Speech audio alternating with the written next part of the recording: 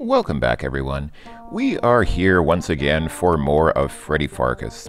So, the uh, last time we left off, we had just been informed that there was a snail stampede heading for the town.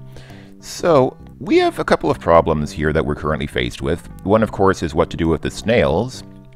The other is what to do with this money. The, uh, $4.87 that we've suddenly come into possession of. Where or where are we going to spend all this money? Well, let's go around the town and ask a few questions and see if maybe some people have some advice. Let's go ahead and start with the sheriff, why not? Since he's in charge of keeping law and order, maybe he has some ideas. Sheriff, are you going to help me stop that stampede before it runs over the whole town? Now look here, Farkblatt. Stopping them horses from pooting the town away was all well and good, but you can't stop a stampede, can you? Why, there's nothing to be done but batten down the hatches and hope for the best. Me, I figure I'm safe in here. This is the only building in town made out of rock. You go save your own butt, boy, or get out of town like the smart folks are doing. Dag nab you, Sheriff. You're not doing anything to help. Why, sure I am. I'm refusing to panic. Grrr.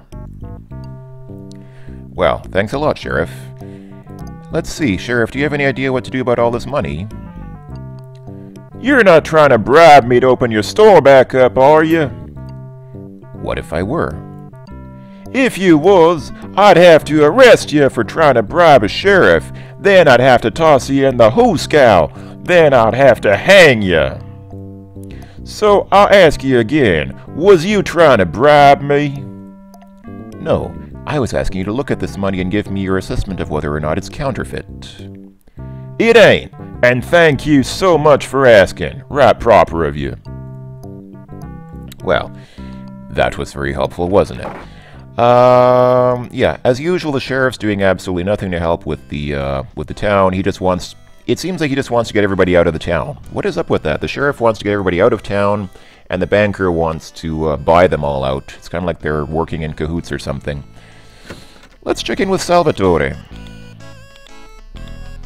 You can breathe easier now, Sal. I took care of that problem with the horses. Turns out somebody put lentils in the feed. Ever hear of something so dastardly? That's the devious, all right, Freddy. But now what are you gonna do about that the stampede heading for town? What am I gonna do about it? Why is it always me? Sure, and you're the smart one, Freddy Pharkas. The one in control, the one we're all watching and counting on. The rest of us are just extras. Now go be a bonny lad and stop that stampede. Hmm. Hey, Sal, do you want some money? That's not necessary, Freddy. You don't owe me any money. You haven't been in for a haircut or tooth job for months. Okay. Well, that wasn't very useful either. And I'm sure if we talk to Whittling Willie, he's just going to complain at us like he usually does. Willie, you heard about the snail stampede? Yipper. Ever hear of anything like this happening? Nope, never. Well, what am I supposed to do about it? Hey, boy, I'm just an old whittler sitting around watching events unfold and commenting with my folksy old-timey attitude. You know, kinda cranky but with a sense of humor, too. Can't you give me some advice? Well, that ain't my specialty, but I'll tell you this. Them snails ain't much different from your ordinary garden slugs. They'll pr they probably likes the same things, so just keep that in mind when dealing with them. Thanks. You're welcome. Now get out of here, I'm done with you. Hmm. That was actually probably the most helpful piece of advice that we could have gotten about the snails. Assuming that you know how people deal with garden slugs. If you don't, then that might not be very useful, although I guess you could look it up. But, you know, when this game came out, they didn't have Wikipedia. Uh, and so I'm not really sure how you're supposed to figure that out if you don't know how people deal with garden slugs. Maybe you'd go to the library and look in a book. Hey, Whittling Willie, do you want some money? You don't owe me nothing. Take it away before I change my mind. Alright. Well, we're getting somewhere, I guess, but, uh, what is this about garden slugs? Let's see, um, let's go into Mom's cafe and talk with Mom and Hop Sing. Mom! Mom! Let me guess, you only have one cavity. Huh? No, I wanted to know if you have any salt. There's a stampede of snails a-coming, and I need to stop 'em. I don't know anything about no stampede. Unless they're stopping here to, stopping here to eat, I don't even care. As for salt, you know we're a salt-free community. That's why everyone's so laid back, low blood pressure, and we aim to keep it that way. Dang. Have you heard, Hop Sing? There's a stampede a coming. Nobody top tell Hopsing nothing back here. Hopsing could fall over and die and rot, and nobody would even know for days. Well, I'm telling you now. Yeah, yeah. Go and leave Hopsing to suffer in silence. So what if everybody ignore me? So what if nobody talk to me back here, except Mom when she wants something? So what if Hopsing slave of a hot steam table all day and work fingers to the bone? I thought you were going to suffer in silence.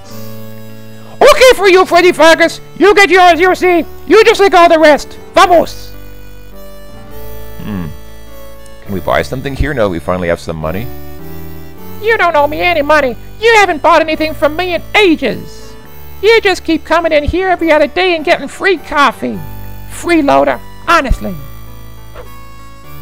Flies in the summer, snowflakes in the winter. God, but I miss Missouri. Not need your money. Mom pay me better than I make in San Francisco. Develop Nouvelle Frontier cuisine. Very popular. Hmm. That was also not very helpful. Well, we could go to the bar, but, uh... We wouldn't want to spend our money on just some alcohol, would we? Nah, that's not a good investment. Here's a better idea. Let's go to the, the Bank of Bob. Let's, uh, let's invest our money. That's the sensible thing to do, right? But first, let's talk to the banker. Say, oh, this is the same thing as before. Now I'll just turn down his generous offer. Alright, let's go ahead and deposit some money. I'd be happy to keep it safe in your Christmas Club account here at the Bank of Bob. If you'd open one, that is. Hmm. We don't appear to have an account here at the Bank of Bob. Uh, and I guess Freddy doesn't want to open one since he obviously doesn't like the banker. Well, this is a, strange situation. We've come into possession of what was probably a you know a considerable amount of money back in the eight in the late 1800s, and yet we have nowhere to spend it on. I guess we just have to go to the bar. I guess that's our only option. I guess this is kind of re- uh, representative of uh, actual actual life in some small towns. I guess people who live in small towns sometimes say that there really isn't anything to spend your money on except booze, so I guess we have no other choice. Let's see, can we talk to the doc just before we do that? Doc, what do you know about snails? They make me sick to my stomach. Pardon? They make you what? Sick, sick. That'll be quite enough of that, Doc. We're not plugging any shaving cream companies in this game. Hmm. Can you give our money to him? A windfall! Yahoo! Sam, drinks are on me. You got it, Doc. Drinks for everyone. No, Sam, I mean put the drinks on me. Wait, wait, wait. I'm not giving you this money so you can get drunk. I'm giving it to you so you can get a new start. A whole new beginning. That's what I'm doing. I'm gonna get drunk all over again. A whole new start. Then I'm taking my money back. Whoa, big surprise there. Alright, let's talk to Sam. Sam! There's a stampede headed for town. Don't go outside. We're open 24 hours a day, Fred. I never go outside. Besides, the sun dries out my beautiful skin. I'm just saying, you know, for your own safety. Gotcha. Tell you what, I'll stay in here and just sort of serve drinks and collect money. You run out around outside like a chicken with your head cut off and save the town, okay? Okay. Alright, well, will Sam accept our money? Hey Sam, give me a case of the beer you just got in from St. Louis. One case of lo... lo lowbrow? Lowbrow? For the pharmacist, coming up. Sam hands you a case of, how do you pronounce that? The beer that gave St. Louis blues. Now you know this beer doesn't come corked, right? They're using some newfangled pinched metal tops. No problem, Sam. I'll take care of it. Okay, fine. That'll be 487. Here you go. Nice bankroll. Come back anytime. Well, that is something. We got some, uh, yeah, there it is right there. We got some beer. A case of, how do you pronounce that, and that slogan that we already saw. All the bottles tightly stoppered with those newfangled metal caps. Hmm, I guess that means we can't, uh, we can't open them with our hands. Sorry, they've only just developed the bottle cap. They haven't progressed to the twist-off top yet. Yeah, these aren't twist tops, so, hmm, what do we have that could open a bottle? Maybe that coat hanger from these clothes? No. No, that was not the correct solution. Alright, let's break them open with the ladder. You whack the beer with the ladder and it replies, You rung? Ha, ha, get it? You rung because it's a ladder? And it, yeah, it has rungs. Well, let's go ahead and check out this snail stampede because uh, you might remember the thing I did last time was I clicked the hand on them. And we get, I think we just get one point for taking the snails. Now this is not something you have to do at all, this is just like a side thing, but if you're going for the maximum score, as of course I am, you will want to give the snails to somebody who might be able to make some use of them. And that someone is Mom. Let's see. I wonder if Hop Sing has anything to say about them. Hmm. Mediocre quality snail. Very tough. Make chewy appetizers. You show to mom. She make buying decisions. Hopsing just work here. Alright, let's give them to Mom. Helen, have you ever thought about putting escargot on the menu? Score. Hmm. Don't know who around here will eat these since they don't give you gas, but I'll put them in a bag of cornstarch and think about it. And I suppose a thank you is in order, so thank you. Alright, that was that. So yeah, take the snails and give them to Mom. There's absolutely no need to do that. It doesn't really serve any purpose, but I think you get a couple of extra points for doing that. I think you get literally just one point for taking the snails, and then one more point for giving them to Mom. That's it. Well, now that we've done that, now that we've talked to the townspeople about the snails, and now that we've gotten a couple of extra points for doing something completely unnecessary and pointless, let's, uh, let's save here. And let's go back to the snails and see what happens if, uh, oh, hey, look, the stampede's closer than it was last time, I think. Might be hard to tell if you don't remember exactly how it looked before, but I think before the snails were kind of farther back, and now they've progressed to being up here. How do they kick up a dust cloud if they are moving that slowly? I don't think snails could actually kick up a dust cloud like that, no matter how large the stampede is. And it's not even that large of a stampede. It's only about that looks like between maybe 10 and 20 snails. You could pick those up by hand, couldn't you? Well, anyway, um, let's see, if we go back again... Oh yeah, that stampede is definitely closer than it was before. It's definitely moved. So every time we come off the screen and come back, the uh, snails appear to uh, advance a little bit. What happens if we, uh, we try that again? Oh yeah, they are definitely... Oh, okay, so it's it's a little bit more than the 10 or 20 that I said before. Actually, I'm going to assume that the line of snails stretches back farther than it appears. I mean, it looks like... Uh, here it looks like it stops right about there. See, at that point right there, it looks like that's where it stops. So that's maybe 20 snails, if that, but uh, I'm going to assume that they just drew it that way for artistic reasons and that the line of snails extends back much farther.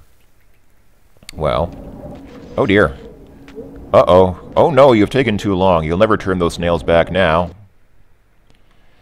Now, it wasn't as if Freddy didn't have enough time to stop them snails, but somehow he screwed it up good. The snails ran over Coarsegold and slimed it to Kingdom Come.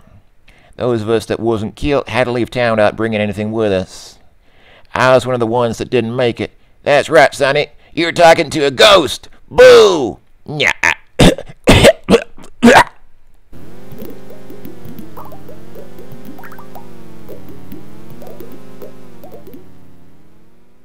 Another sort of different death music, although it's not even really music. That's more like some weird sound effect. But all right, um, well, that obviously didn't work.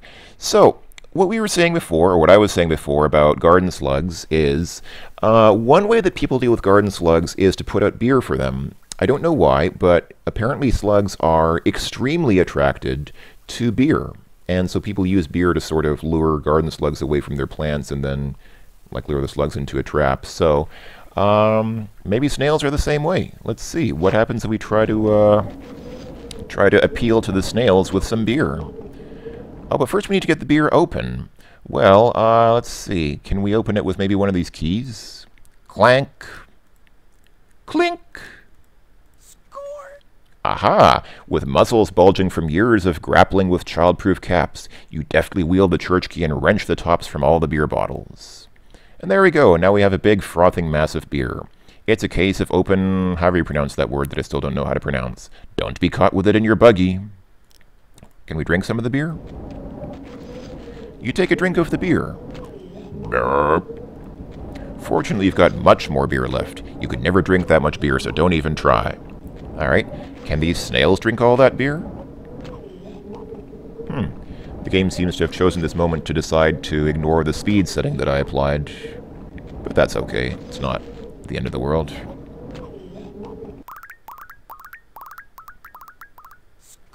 Hey boys, it's Miller time. And with that, you clev- cleverly pour bottle after bottle of Sam Andreas' St. Louis brew onto the dusty road in an attempt to divert the stampede.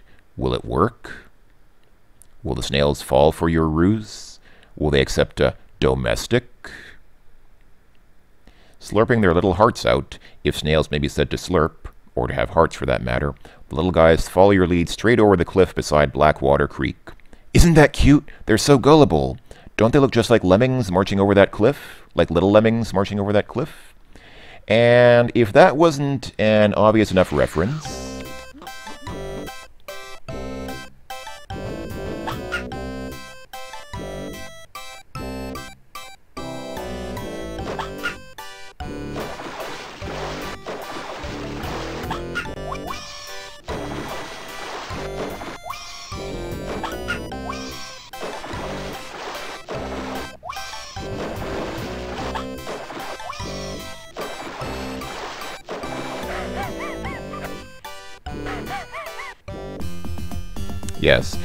very obvious sort of uh, homage to a particular uh, sort of puzzle, sort of puzzle action game, which was extremely popular around the time that this game came out, and actually a very, I would say, quite addictive, but also very challenging, very, uh, very difficult, sometimes very frustrating puzzle action game. Uh, yeah, Lemmings was a great game. Lemmings really is uh, a fantastic game, but it's very difficult and very frustrating sometimes in some of the later levels.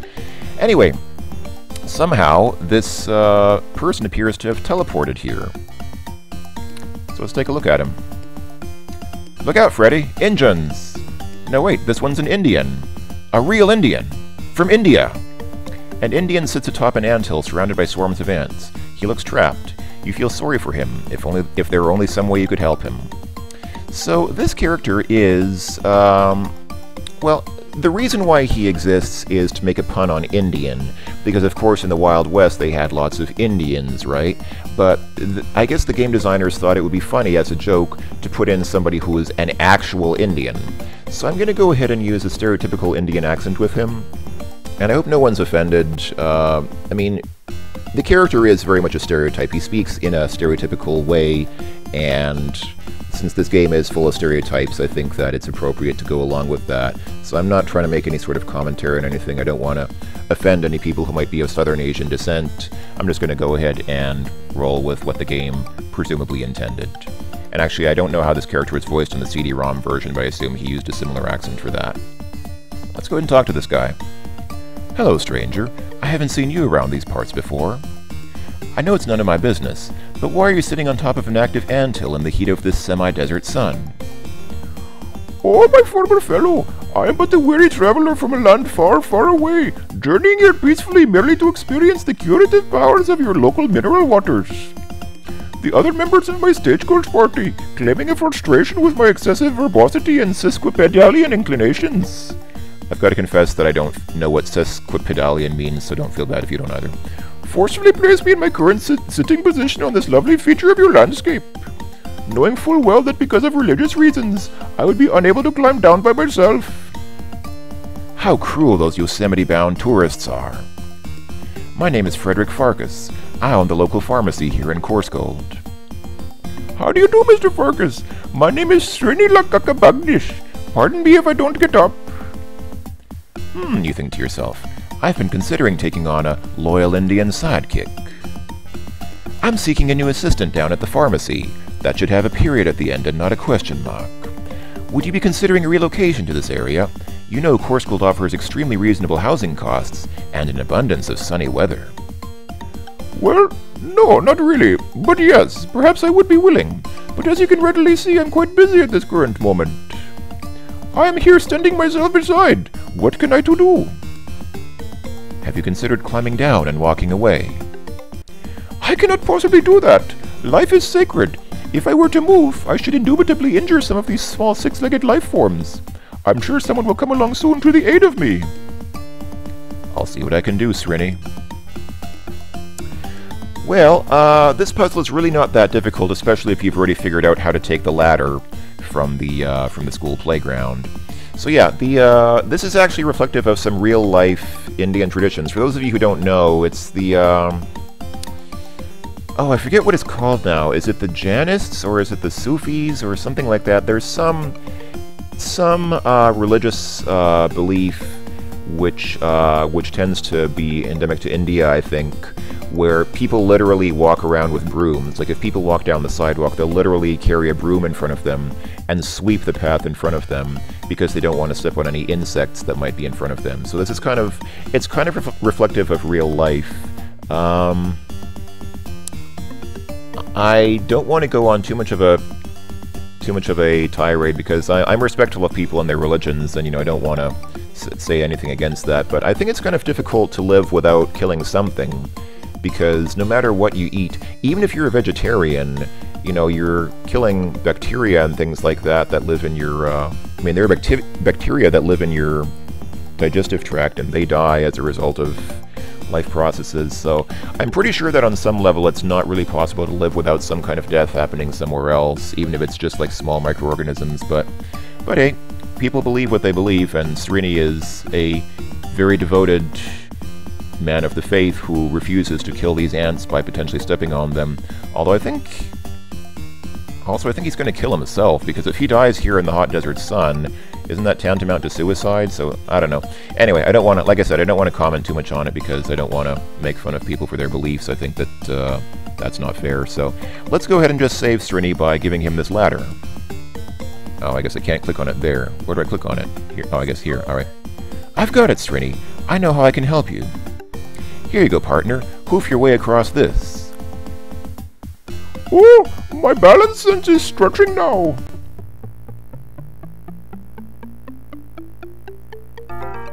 You made it!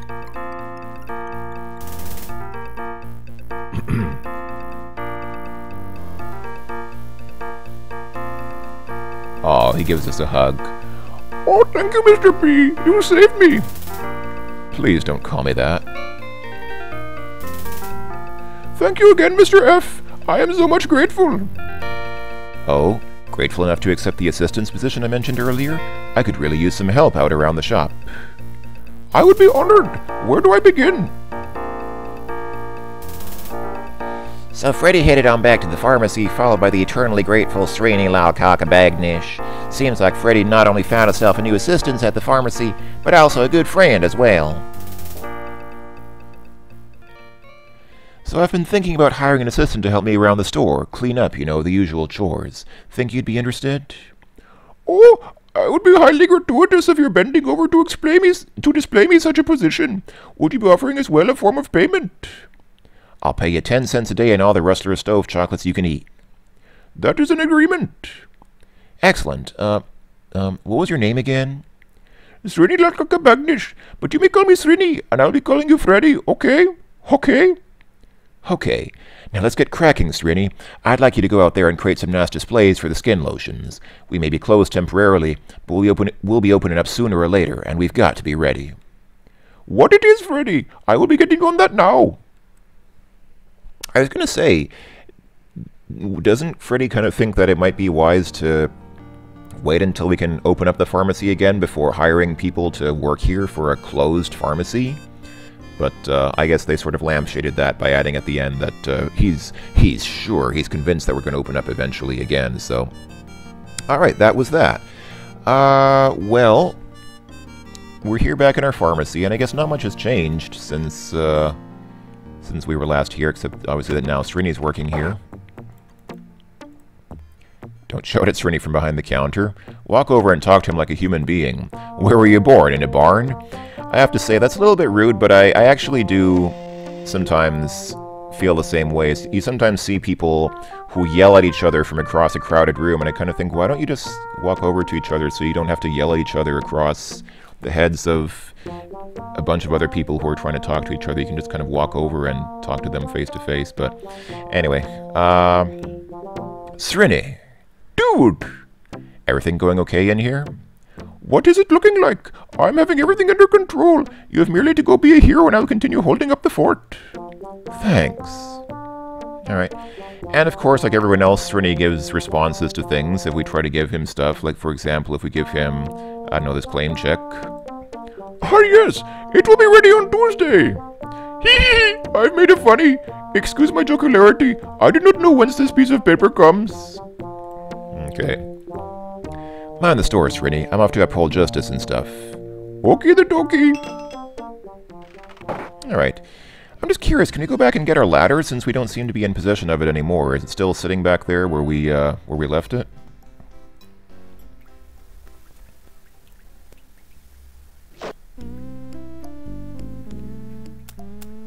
Oh. Oh. What's going on here? Uh, we appear to have two buzzards. A few buzzards have landed here, waiting for some unfortunate life form to become vulture chow. Is there a difference between a buzzard and a vulture? Hmm. Well, you might want to do something to those buzzards. They're simply living out their portion of the West's ecology. Leave that poor owl alone, you vicious fiends. They ignore you completely. And yes, there appears to be uh, an owl perched here on the on this corner of the bridge. It's Cedric. He looks lost and out of place in the hot desert sun. If you listen close, you can almost hear him say, Oh, Freddy, if you're going to go in there, I'm going to wait out here. He always has some flimsy excuse. And I just realized he has kind of the same voice as Srini in my head. Um... Gee willikers, you can't quite reach that owl from here. Too bad, you'd like to wring his neck. Have we talked to him? Hey, you! I'm waiting here! It's too dangerous out there! Apparently there's some adventure out in the desert and the owl's waiting to annoy him when he gets back. Yeah, this of course, I'm pretty sure that very nearly every single one of you is already ab abundantly aware of this, but this is Cedric the Owl from King's Quest V. I think I've said it before, I always liked Cedric. I actually think that Cedric is not that bad of a character, and people always dislike him for some reason. And I think the reason why most people dislike him is because they remember his voice from the from the CD-ROM version of King's Quest V. When I first played King's Quest V, I played the floppy version, with which didn't have voices in it, and I actually thought Cedric was okay. I mean, he's not the bravest character necessarily, but you know, you've got Graham walking off into a desert with no preparation, with not even any water on him. He's not carrying any source of water, he's not carrying any form of defense. I would say the same thing. Seriously, if I was in that situation, I'd say, look, buddy, dude, friend, if you want to walk off into a desert completely unprepared, I'm not going to stop you, but please understand if I don't go with you. So I, I would just say that's prudent. I, I think that's not so much cowardly as just kind of exercising a reasonable degree of caution. But everybody always complains and says that Cedric is a coward and he's annoying, and I think that's mostly just because of the voice. If you play the game without the the terrible voice that that voice actor gave him that is really annoying, then I think people might realize that Cedric's not really that bad. He's just, you know, he's your typical sort of, um, not necessarily introverted, but sort of, uh, academic sort of nerdy. He's kind of like Harry Potter. Not particularly athletic or anything like that, but uh, you know, good-hearted. I mean, he, he's he's a good-natured fellow. He's not like it's not like he's evil or anything like that. So I don't know why people dislike him so much. I actually like Cedric. Anyway, can we take the ladder? Oh, yes, we can.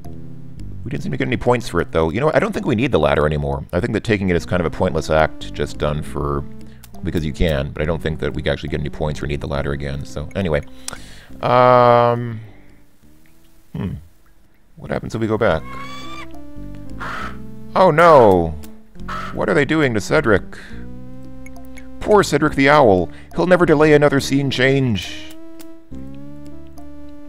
As much as you want to join in, leave Cedric's carcass for the buzzards. Farewell, Cedric. We've hardly knew ye.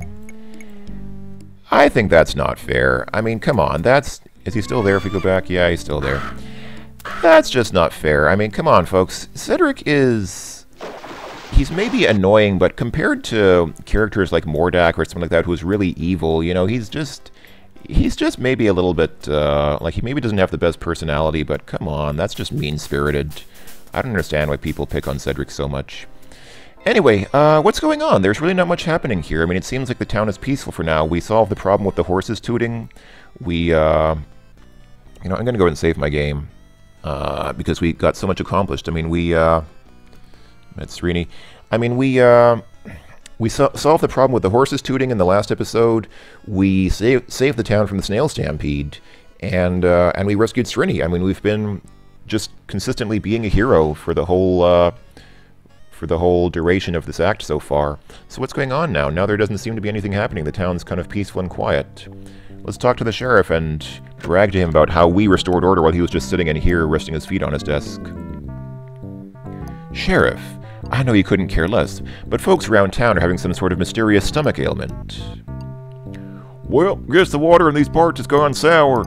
Ain't no surprise, really. We're bound to happen sooner or later. I figure those that don't die from the dysentery will just have to pull up stakes and find some place where the water's good. I don't think that's it at all. I think somebody poisoned the water. If you were any kind of sheriff, you'd look into it. like you know anything about being a sheriff. Besides, I know the water ain't poisoned. I had some myself a while ago. Well, this is a little bit, uh, a little bit out of sequence, I guess, since we haven't actually seen any evidence of the, uh, of any problems with the water. But if we walk around just a little bit, since, uh, since we mentioned water, where could we find water? Over here? There's water over here, but there doesn't appear to be anything unusual here. I guess the other obvious place is the, uh, the water tower, which is up here. Oh, look, what's this? Oh, my. Holy cow, you've never seen such a long line out at the outhouse. Something's rotten in the state of Coarsegold's bowels. Hmm. This one appears to be practicing the jitterbug. Oh dear. How long can she hold it? Not long if she keeps bouncing like that. Hmm. He's really got a make. You haven't seen this long a line at the outhouse since the day Mom served her famous chicken sushi with egg tartare. He's gonna explode, Captain, and neither you or I or anyone in the universe can stop it. Uh, I cannot tell you how much more she can take, Captain. Don't touch him, Captain. He's liable to blow any second. The engines are already at maximum reverse thrust, Captain. They're giving it all they've got. Say, do any of you guys know how to Madison? Nobody's laughing. She can't hear you over the mighty roar of her lower gastrointestinal tract. Don't talk to him, he's concentrating. Squeeze, squeeze, squeeze. Hmm. That's what she said? Alright. Uh, and if we talk to these people? Hey, you guys, you feel okay? The only response is a chorus of churning stomachs, roiling bowels, and floodgates straining to open. Gosh, what's this about, uh, about the water? I mean, we haven't had any problems with the water. If we turn on the water, can we take a drink from it? You wash your hands. Okay, I wasn't trying to wash my hands, I was trying to drink. Can I... Let's try this. I think we can get a few extra points if we take some water in the beer bottles. You fill one of the empty beer bottles with water from the water tower. Alright, let's turn off the water so we don't waste it. And, uh, let's see, can we take a drink from one of these bottles? You take a swig of water from the water tower. Uh-oh. Your stomach starts to make strange sounds. Your small intestine begins to whine. Your lower intestine starts complaining loudly. Hey, buddy, no cutting. It's people like you that give people like you a bad name. Well, howdy, Mr. Pharkas. Uh, I was just leaving, I swear. Give me one more minute. Perfectly okay, Billy. No need to get up. Just move over a little. Well, uh, mm, well, I... Geez, Mr. Pharkas, invade my personal space, why don't you? Well, a few months later you emerge feeling refreshed. Gee, that water's got a nasty kick to it. Well, okay, I guess there is something going on with the water after all. Okay, at this point in time, uh, the game sort of, I think, is recycling an idea because you might guess, what do we do when we have health problems in this game? We consult the Modern Day Book of Health and Hygiene. And yes, there is a section on diarrhea. Right here. Alright, diarrhea is caused by too many soft, liquidy foods finding their way into your digestive system. Unchecked can lead to dehydration, which is discussed up here, although not usefully. It may be cured quickly and clean, uh, cleanly by eating quantities of solid foods or foods with stiffening ingredients like pectins, such as fibrous breads, apples, cruciferous vegetables like broccoli and cauliflower, etc. Well, unfortunately we don't have any of that, but notice that it says C bisalicylate antioxidine. Well, let's go and take a look under the list of medications. Bisalicylate antioxidine. Yeah, has been found effective, albeit highly powerful, to be an effective, albeit highly powerful compound in the correction of diarrhea, although it is not normally recommended for individuals due to its extreme concentration and possibility for overdose with subsequent dire consequences. Presumably constipation or something like that. Well, so this part is pretty obvious. We do the same thing that we've done already several times before. We go back to our pharmacy and cook up the recipe which the manual gives us for that medication. So let's walk in here. You return! Yep. It is good to look upon your eternally smiling countenance of face again. Yeah, yeah, I missed you too. Alright, so here's our pharmacy. And let's go ahead and follow the instructions carefully. Uh, Alright, as follows. Combine 25 milliliters of bismuth subsalicylate. So where is bismuth subsalicylate? There it is, bismuth subsalicylate. We want 25 milliliters. One, two, three, four, five. Since every time we put in 5 milliliters, so obviously 5 times 5 is 25. Um, and 5 milliliters of orphanamethydride. Okay. Orphanamethyd... What the heck? Alright. I think a lot of these things don't actually exist. Alright, this is orphanamethydride. Alright.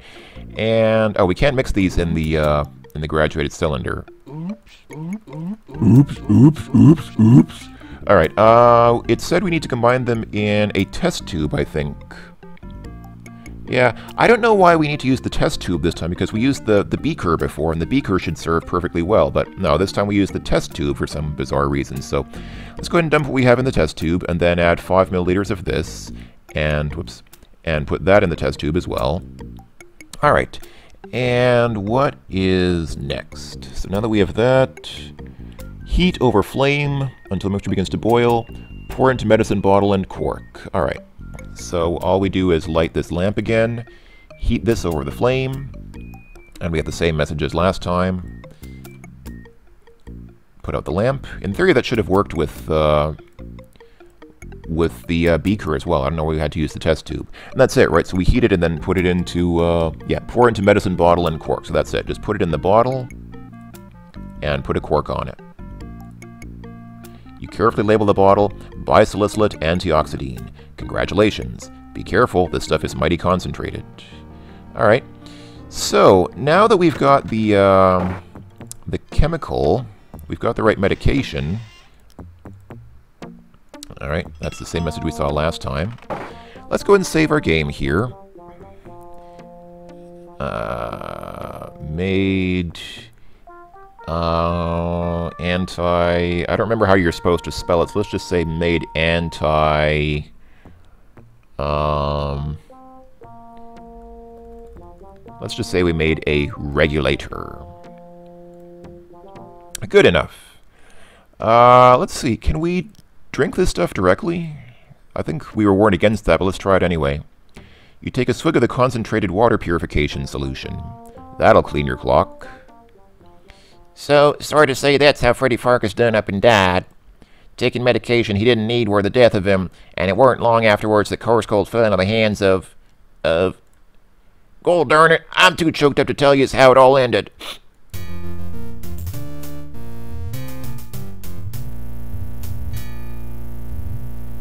Hey look, it's Frosty the Snowman. Well, it says never drink your own mistakes, but it wasn't actually a mistake. I'm pretty sure we got it right. But we need some way to, um... What's this? A gigantic pile of 50-pound sacks of baking soda fills the sidewalk in front of your store, nearly blocking the entrance. The baking soda is the Legon Hammer brand, named for the famous international industrialist. His slogan, keep one sack in the smokehouse and another in the stable to help, to help keep it clean and fresh smelling. Summoning up superhuman strength, you heft the huge pile of baking soda. Then with a horrible wrenching, tearing sound, you cram the sacks of baking soda into your pants pocket. Uh, yeah, the baking soda is now an actual inventory item. You ordered one sack of baking soda. Owing to an administrative error, you are now the proud possessor of 100 sacks of baking soda and the superhuman strength required to carry it around.